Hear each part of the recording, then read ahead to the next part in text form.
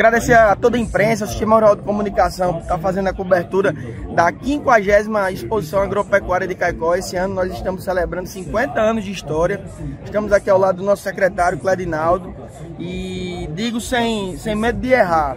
Cledinaldo também já vivencia essa exposição há muitos anos, mas a edição de 2023 é, foi a maior edição em termos de, de quantidade é, de gado, de animais e também do ponto de vista técnico, com, com, palestras, porque também a gente teve a felicidade de contar com um apoio muito importante é, do Sebrae, que também está celebrando 50 anos de história.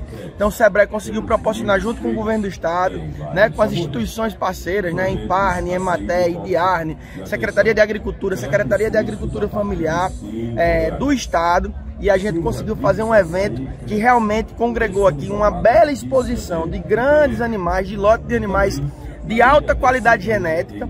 Conseguimos fazer é, grandes palestras que trouxe é, novas técnicas para que o, o produtor rural do semiárido facilite sua vida. Então quem pôde presenciar essas palestras. Realmente vai sair aqui é, enriquecido de conhecimento para poder colocar em prática é, na sua propriedade, no seu trabalho agropecuarista.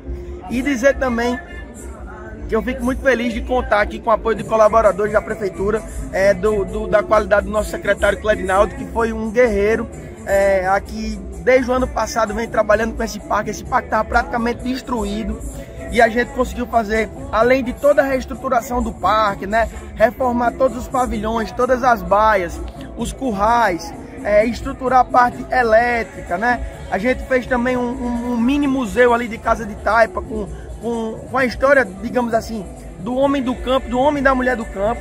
E essa feira agropecuária também não ficou só para o agro. A gente tem também a agricultura familiar presente, né? É, expondo seus produtos. E a gente vai ter hoje também o leilão.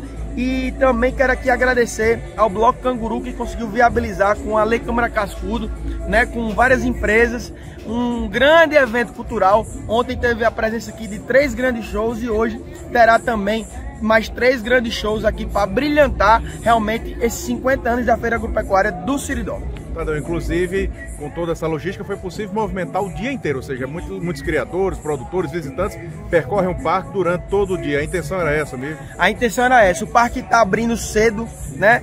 O torneio leiteiro, inclusive eu quero dizer aqui que a gente está no local que está acontecendo o primeiro torneio leiteiro desses 50 anos é, da Feira Agropecuária do Siridó. Importante registrar que Caicó, o Siridó, é a maior bacia leiteira do estado, mesmo estando com um regime pluvial extremamente desfavorável e a gente está realizando hoje, com a sugestão de Clerinaldo, nós estamos realizando o primeiro torneio leiteiro, como também a pista de julgamento de bovinos, que não tinha, pelo menos no meu conhecimento, eu não tenho lembrança de haver na feira, durante a feira de agropecuária de Caicó, né, a julgamento de bovino. A gente teve um julgamento ontem do gado Cindy, que é uma raça muito apropriada para o semiárido, e hoje a gente está tendo, teve na verdade, o julgamento da, gada, do, do, da raça gileiteiro.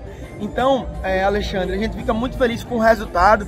E aqui movimentou toda a economia, né? A economia de quem vende picolé, quem vende, quem vende os pequenos ambulantes, os restaurantes, as pousadas, né? o supermercado. Então, a gente fica muito feliz de saber que é, Caicó precisa realmente expor o que ele tem de melhor. E aqui a gente está tendo realmente uma grande exposição agropecuária.